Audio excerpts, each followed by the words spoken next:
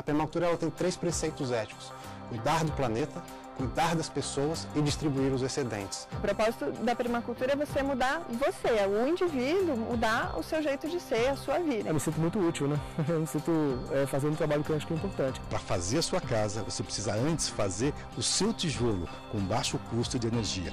E é isso que nós vamos descobrir agora.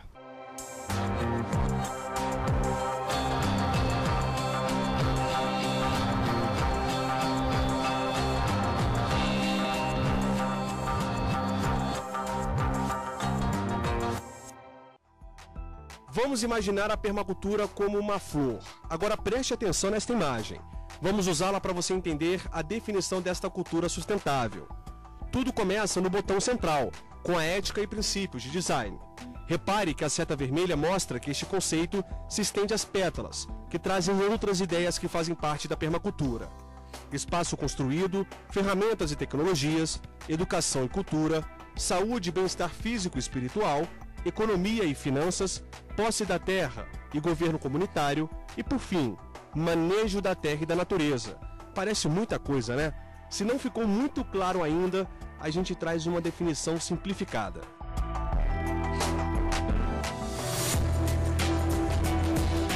A permacultura é trabalhar com a natureza e não contra ela.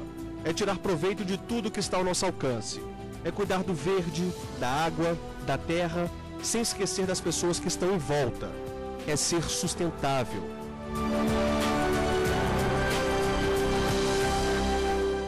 A gente fala que na permacultura qualquer coisa que eu faça, eu tenho que pensar se isso que eu vou fazer permite que sete gerações à frente, né, os meus, as minhas próximas gerações possam sobreviver, né, possam viver de preferência. E então a gente acredita que desse modo que a gente vive, a gente não vai poder continuar vivendo. O propósito da permacultura é você mudar você, é o indivíduo mudar o seu jeito de ser, a sua vida. Então não é tanto ir comprar um produto que venha com um selo de permacultura, mas sim eu produzir o meu alimento, né? Eu construir a minha casa. Então são, são coisas que vão do pequeno para o global. Cultura, traduzindo, cultura permanente o conceito surgiu de dois pesquisadores australianos na década de 70. Foram dois pesquisadores que conceberam a permacultura, né, o Bill Mollison e o David Holmgreen. Inicialmente ele era visto como uma técnica de agricultura, como que a gente poderia plantar de uma forma permanente, né? A, a, palavra permacultura vem da junção de uma cultura permanente, porque até então a gente via que a gente plantava e a gente acabava degradando aquele solo e a gente tinha que mexer, né? Se mudar e plantar em outro local. Então ele iniciou com a, a questão da agricultura e aos poucos ela foi evoluindo. Hoje a gente fala de uma cultura permanente no sentido amplo. Então a gente fala de plantio, né, de manejo da terra, mas a gente fala de bioconstrução, a gente fala de água, de energia, de comunidade, de educação, de governança. To todos esses temas fazem parte para a gente ter uma cultura sustentável, né, plenamente sustentável. Depois de quase 20 anos, a permacultura chegava ao Brasil, quando um dos pesquisadores ministrou um curso no Rio Grande do Sul. Era 1992, mesmo ano em que aconteceu a Conferência das Nações Unidas sobre o Meio Ambiente e o Desenvolvimento, a Rio 92. De lá para cá, o movimento cresceu e muito. E aos poucos isso foi entrando, permeando a sociedade. Então hoje a gente tem algumas universidades no Brasil que oferecem disciplinas com o nome permacultura, né, introdução à permacultura. A gente começou a ter editais de políticas públicas voltados para a sustentabilidade e para a permacultura.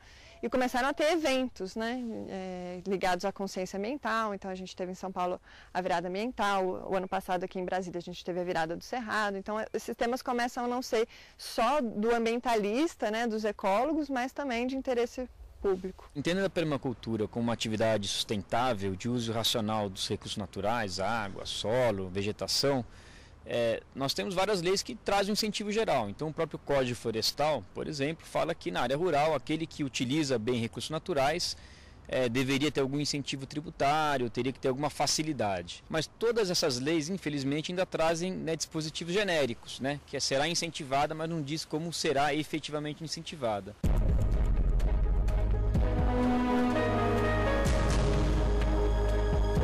Nossa equipe foi conhecer o Centro de Permacultura Asa Branca, que fica a mais de 20 quilômetros da área central de Brasília. O espaço é uma das principais referências de projetos sustentáveis do Brasil.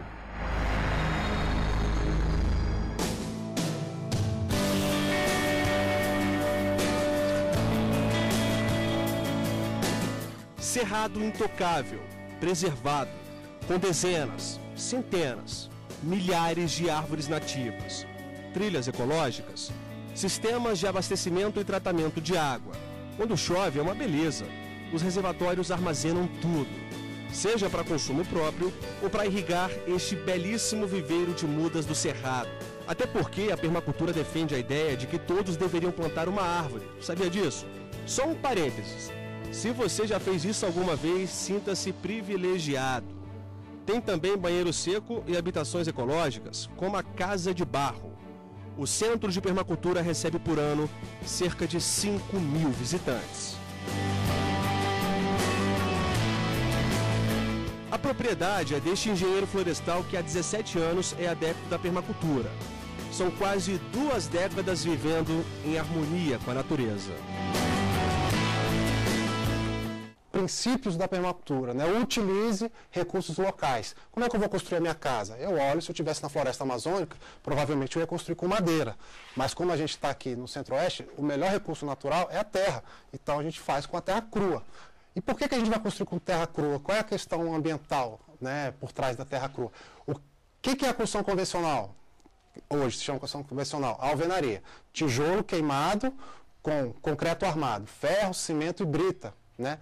Todos esses materiais são de alto impacto. Quando a gente usa a terra crua, o impacto é o trabalho de retirar essa terra né, e o buraco que fica. Mas aí tem um outro fundamento da permacultura que diz: cada elemento tem que realizar mais de uma função. Aqui a gente tem é, a composição do nosso ambiente, aqui, que é um ambiente lúdico, onde a gente realiza atividades é, com escolas e tal, essas garrafas. Então, o reaproveitamento, que também se vê na bioconstrução. A gente tem muita entrada de luz com garrafas, com vidros de carros né, buscados em ferro velho. Eu me sinto uma pessoa realizada. Né? E a permacultura, para mim, ela é mais do que uma filosofia de vida. Eu não sou religioso, mas eu me considero uma pessoa com uma espiritualidade muito forte.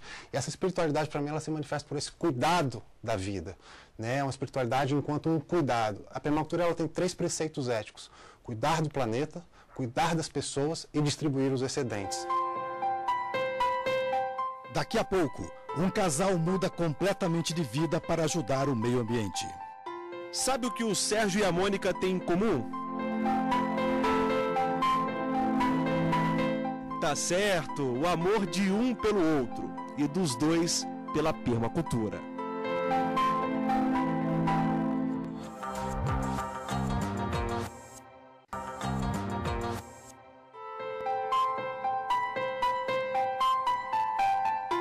Sabe o que o Sérgio e a Mônica têm em comum? Tá certo, o amor de um pelo outro e dos dois pela permacultura. Sérgio e Mônica moram nesta chácara no Distrito Federal. E o meio ambiente por inteiro foi conhecer o estilo de vida do casal que optou pela permacultura. Há quase 20 anos o sistema funciona. E olha que funciona mesmo, viu? Quer ver só?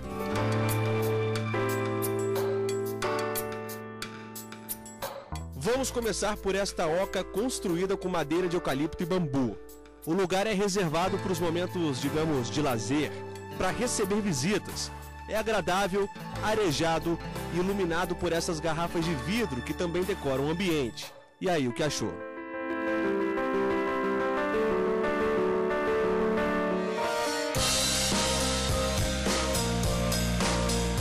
É neste giro que a gente continua a nossa caminhada. Mas espera aí, deu sede? A água fica no filtro de barro. Se cansar, que tal sentar em uma cadeira feita 100% com pneus? Diferente, né? Mas vamos lá que ainda tem muito que conhecer. Esse aí, por exemplo, é o canteiro de sistema agroflorestal. É como se fosse uma floresta mesmo, cheia de alimentos. Tem de tudo que é tipo. Como toda horta, precisa de muita água. Aqui, ela vem da chuva. A propriedade conta com seis reservatórios, com capacidade de armazenar 85 mil litros de água. Até o banheiro é sustentável, chamado de banheiro seco. Já ouviu falar? Explica melhor isso pra gente, Sérgio. Você está vendo duas câmeras pintadas de preto, né, cada uma com chaminé preta. O preto não é por acaso, a posição dele também não é por acaso. Ele está voltado para o norte, né, que é o lado mais ensolarado da nossa região, noroeste, na verdade, sol quente, né? As chaminés esquentam e cria um movimento de ar. O ar quente vai subindo, vai puxando pelas frestas aqui um ar mais fresco, mas tudo fica muito quente dentro dessa câmara. Então lá dentro, os dejetos todos, urina, fezes, papel higiênico e o que dá descarga, que é a serragem, eles entram no processo de compostagem aeróbica e eles, vão, e eles começam a degradar né, nos seus componentes básicos. Então, com isso, depois de alguns meses, a gente tem é, um esterco, um, na verdade um composto de boa qualidade. O Sérgio estava contando para a gente que quando ele chegou na propriedade em 1998, a vegetação nativa era bastante degradada. E a gente tem uma noção melhor de como que era a situação quando nós olhamos ali para frente. Olha só, onde vários condomínios foram construídos bem próximos à mata. A vegetação era daquele jeito, com várias erosões, uma vegetação completamente comprometida e com solo infértil. Repare que bem aqui do lado o cenário que a gente encontra é outro. Olha só, desse ponto mais alto onde nós estamos, é fácil perceber que com o tempo o verde ganhou vida.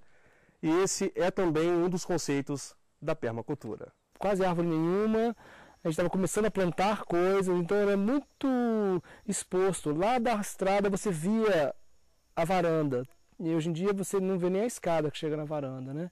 Então o, o, os, as plantas, as árvores começaram a, a, a, camuflar a casa, uma coisa que, que deu um. Além de resfriar a casa, é uma casa mais fresca hoje em dia, é, deu um, um, uma ambientação muito mais gostosa, né? Hoje em dia você não vê a casa e as plantas todas que a gente coloca sempre tem uma função específica, né?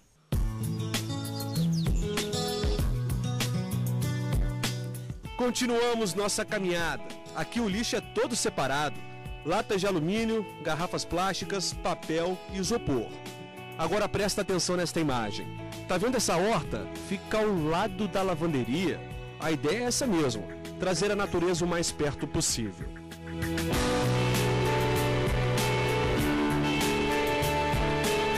O minhocário foi feito em uma banheira antiga quando a gente olha a lateral da casa, encontramos um jardim vertical que parece acompanhar a construção.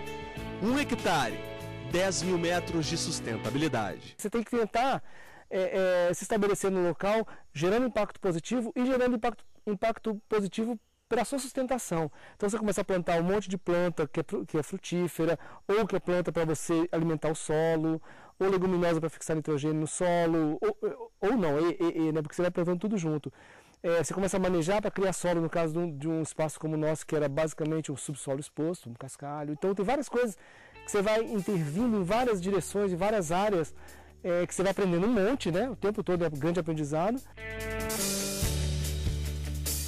A propriedade não conta com sistema de tratamento de esgoto convencional. Foi criada então uma bacia de vapotranspiração. É como se fosse um tanque fechado que a gente não consegue ver. Em cima dele tem camadas de pneus, entulho, brita, areia e por cima terra. Essa mesma terra é usada para plantar bananeiras. Esgoto aqui não é problema nenhum. Qual é a lógica? Lá embaixo acontece a fermentação é, nas, das fezes e do todo o material que vem junto. É, é, é isso se dissolve naquela água, não tem para onde fugir, então vai encher né, entra em contato com as britas e com o entulho e vai colonizando, as bactérias vão colonizando esse espaço todo, essa água vai se degradando em, em compostos minerais, isso vai subindo e em vez de aflorar, que seria uma hora ele iria aparecer aqui minando, essas plantas fazem o trabalho de jogar suas raízes para baixo e beber dessa água com os minerais dissolvidos. Então elas se nutrem disso, né? E, e, você não tem nenhuma saída. Se não é bem dimensionado, não tem saída de água. A única saída de água são as folhas da bananeira. Ela sai como vapor de água, ou seja, 100% limpa. Mônica mostra também o telhado da casa. É verde. O espaço foi usado para plantio. A sensação é de estarmos no meio de uma floresta. Mônica, explica pra gente, o que, que nós temos aqui em cima?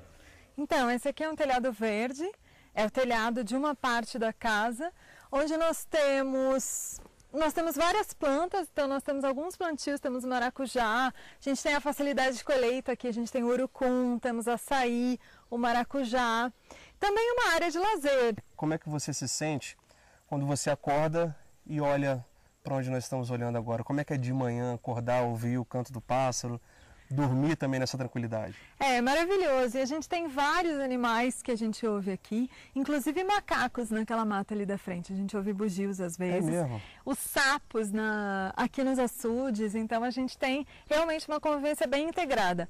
E a proposta desse espaço é ser no momento é ser um espaço de permacultura que é um espaço de transição de pessoas que estão na cidade e ao mesmo tempo estão exercitando essa vida no meio ambiente, né? estão exercitando essa vida mais sustentável. Então, a proposta desse espaço é estar integrado e mostrando que é possível na cidade você ter um estilo de vida sustentável, morar no meio do verde. me sinto muito útil, né? Eu me sinto é, fazendo um trabalho que eu acho que é importante. Eu fico achando assim que quanto mais propriedades como essa, seja urbana, seja rural, na medida que puder, puder fazer esse tipo de coisa, a gente vai sair ganhando. Daqui a pouco, veja como funciona a permacultura em uma casa totalmente sustentável. Eu posso ter um reservatório desse no fundo de quintal, né? E produzir aí, digamos que num reservatório desse, em torno aí de 300 quilos de, de tilápia por ano.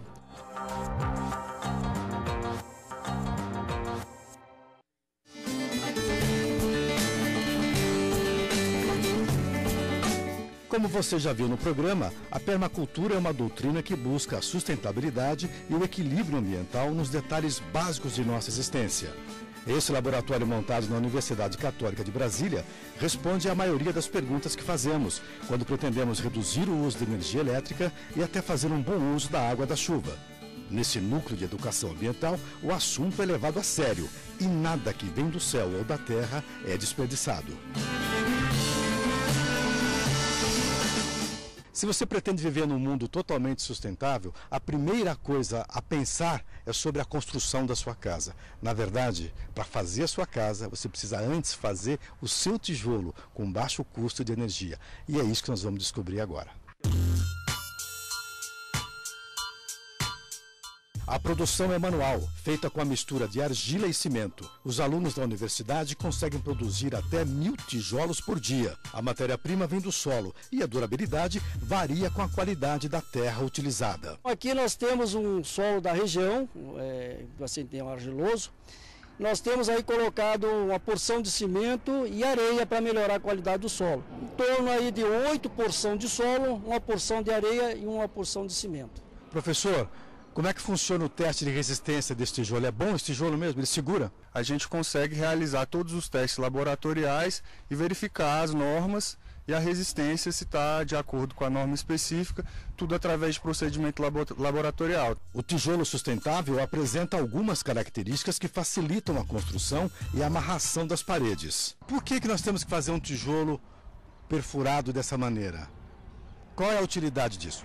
Ele é chamado de tijolo ecológico justamente para que a gente possa aproveitar esses furos. Então esses furos aqui, eles irão, em ponto estratégico da, da, da construção, ser utilizados como forma para colocarmos aqui a ferragem e o concreto. Né? A outra vantagem ecológica desse tijolo é permitir a passagem de canos de água e fiação elétrica por esses orifícios. O método facilita também a construção de colunas de concreto, sem usar formas de madeira. E tudo isso reduz o custo da obra ecológica. Nem necessidade de estarmos é, utilizando aqui a argamassa, porque esse encaixe será perfeito não haverá necessidade então de, de, uso de argamassa, uma economia, né? O custo da construção civil com tijolo ecológico deve ficar mais barato em torno de 30% em relação ao uso do tijolo convencional. A técnica dispensa o acabamento das paredes com reboco e a proteção pode ser feita apenas com o uso de verniz especial. Feito o tijolo, a, a casa está sendo construída, está sendo encaixada, tudo perfeito. Aí falta o telhado. E eu vejo que naquele telhado ali, nós podemos notar, nós temos já uma estrutura de captação de água de chuva. Bom, aqui a gente tem um reservatório de cerca de 14 mil litros de água utilizando-se de uma técnica denominada ferro-cimento. Vocês vão poder notar que todas as construções elas são no formato circular para distribuir a pressão hidrostática de maneira equitativa e a gente não ter ponto fraco. Depois de guardada no reservatório, a água passa por filtragem especial. O sistema, claro, também é de baixo custo e usa o método do ferro e cimento para a realização de todo o trabalho. Vamos ver como funciona esse filtro de bioareia.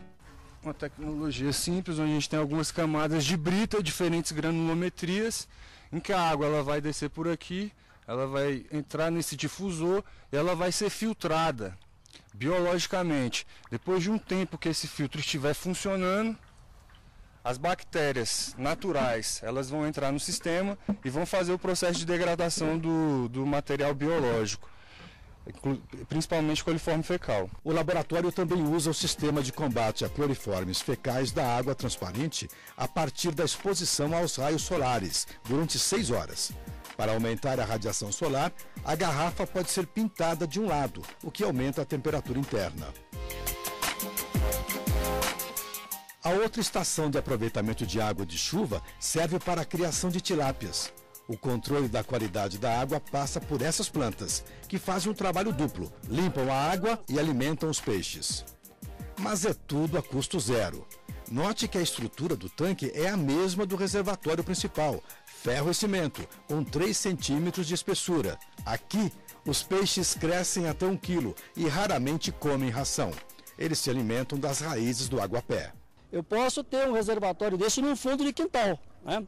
E produzir aí, digamos que num reservatório desse, em torno aí de 300 quilos de, de tilápia por ano.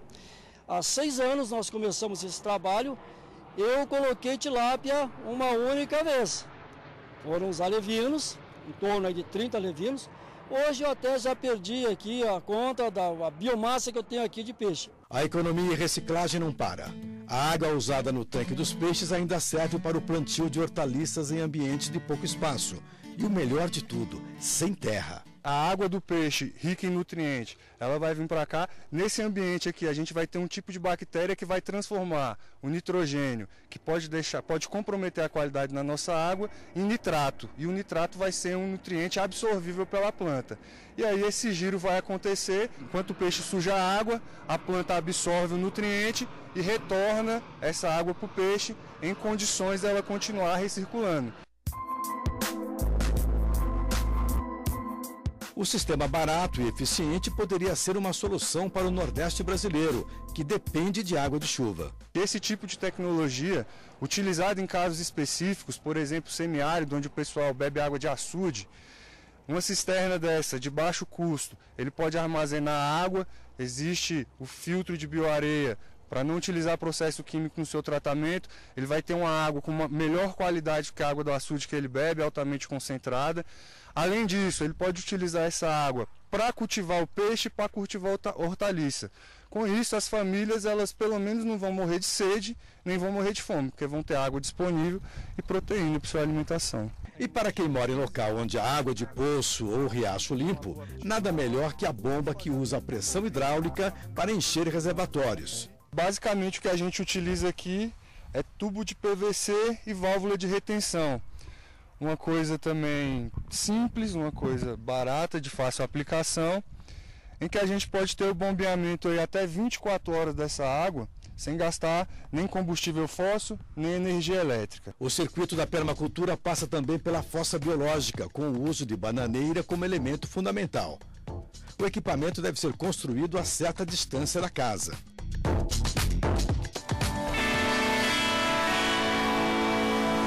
Como já vimos, o uso da energia solar é um elemento fundamental na doutrina da permacultura. Mas como usar os raios solares para dar sobrevida às frutas que podem se estragar dentro de casa? Simples assim. Interessante destacar que no momento que a fruta é desidratada, o que vai ficar concentrado nela são os açúcares. E o açúcar ele é um conservante natural. Então, no momento que a gente utiliza dessa técnica, aquele excedente agrícola que seria perdido nos processos tradicionais, ele pode ser conservado por muito mais tempo em função do nosso conservante, que é o açúcar que fica concentrado na desidratação. Inclusive, essa bananinha aí, ela já está no ponto. Temos a banana, o abacaxi. abacaxi. E quanto tempo demora para ficar no quatro ponto? Dias. Em quatro dias a banana já está pronta para consumo. O abacaxi, que tem mais líquido, um pouquinho mais. Né? É, então, depende muito, assim, do fruto. A doutrina para uma existência ecológica dentro desse laboratório inclui ainda uma horta vertical para casas e apartamentos. Temos também o calçamento permeável para o escoamento da água da chuva não aproveitada. E agora veja esses objetos. Adivinhou?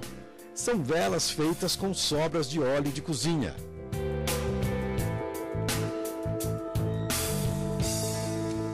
É isso. Vida barata e equilibrada é outra coisa. Quer ver uma obra de arte? Esse tijolo acho que serve.